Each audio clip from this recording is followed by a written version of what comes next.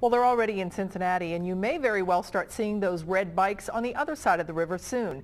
The Red Bike Sharing Program started a couple of months ago downtown and over the Rhine and uptown. And now the program's executive director says expansion to Kentucky could happen next year.